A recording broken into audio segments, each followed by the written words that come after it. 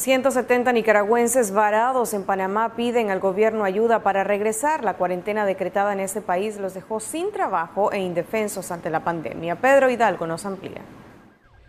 Nicaragüenses que laboran en el país de Panamá realizan desesperadamente un llamado al gobierno de la República de Nicaragua para que éste les ayude a regresar a su madre patria lo antes posible.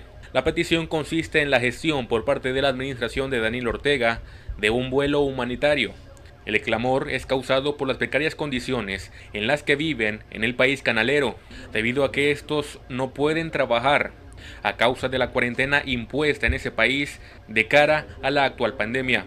Nos hemos quedado sin empleo, no tenemos dinero para sustentar nuestros alimentos y para pagar arriendo de casas.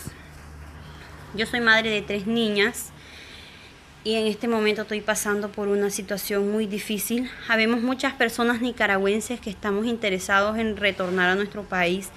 Les suplicamos, por favor, se toque el corazón y nos apoyen, nos ayuden a retornar a nuestro país, ya que estamos en un momento tan vulnerable. Esa es la, la situación de muchos nicaragüenses acá en Panamá. No tenemos nada que comer las pailas están vacías, no hay. No hay nada. Las poquitas cosas que nos quedan las tenemos que estar guardando, ahorrando y haciéndola que se nos estiren pues para poder eh, pasar el poquito de tiempo. La petición es realizada por más de 100 nicaragüenses, quienes han hecho el debido llamado al embajador de Nicaragua en Panamá. Sin embargo, ni este ni el gobierno al que representa han dado respuesta.